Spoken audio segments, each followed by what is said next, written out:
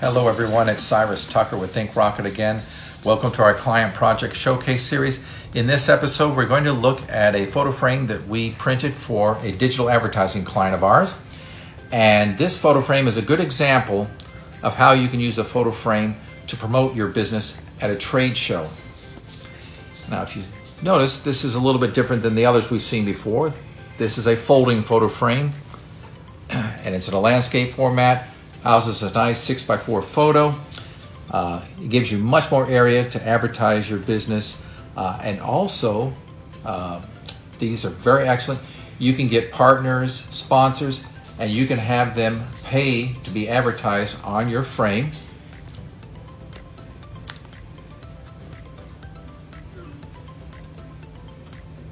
Photo frames can be an excellent opportunity in your business to business marketing. Uh, if you'd like to know how InkRockit could possibly uh, uh, be of service to you in this capacity using photo frames, give me a call. My personal number 407 512 6417. I'd love to discuss the possibilities with you. Uh, I thank you for your time and look forward to our next episode. Until then.